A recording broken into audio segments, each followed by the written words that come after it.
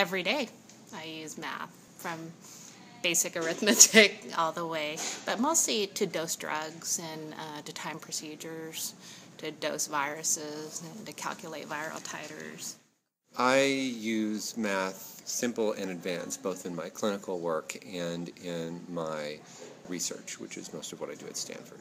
For research, I acquire raw data and I transform that raw data into an interpretable, understandable form. So I have a bunch of numbers that tell me how particular cells behave at different concentrations of a drug. And fundamentally, it's underlying math that lets me convert that first into a graph, lets me normalize, do statistics, lets me fit a curve to that, and lets me come up with a final value of how effective that drug is in that particular situation.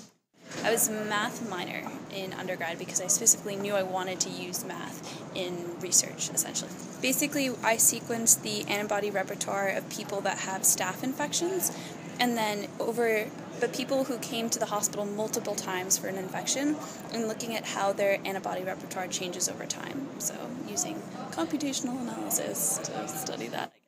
At the moment, I just use math to, you know, calculate concentrations of proteins from standard curves. I use for just regular, like make dilutions, make buffers, that kind of stuff, relatively simple. But I will be using more complicated math in microarray analysis, PCA, that kind of stuff.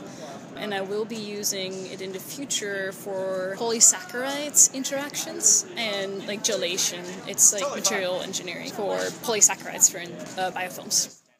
Yeah, mostly stats. We do a lot of genome wide screens, which kind of involves a lot of data points, and we use math to see significance if certain hits are like enriched or depleted, and if that is significant or not. I've mostly been using math for statistical analyses. Probably the biggest thing I've used it for recently is to analyze sequencing data. So if we do like genomic profiling of a population in the microbiome, I look at taxonomic differences and see if there's like a statistical difference between the percentage of that group that's made up of one phylum versus another.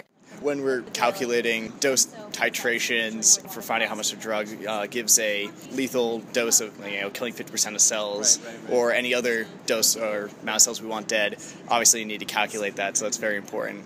Not to mention all statistical work that needs to be done in order to gain significance with results and show that result is true, and not just happening by random chance.